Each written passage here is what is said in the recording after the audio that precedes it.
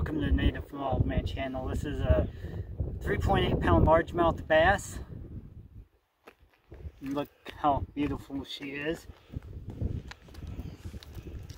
Okay, we're to get her back in the water. Make sure she's ready to go. Go back and forth, kind of move off. Like that.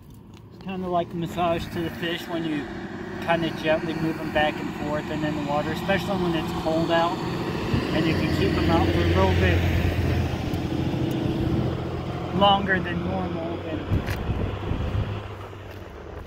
yeah, wiggle them around a little. They'll be fine. This is the third official fish I caught today, bass. I think the one that I missed was a little bit bigger than that one. That may have been it too. But anyways, Peace and long life.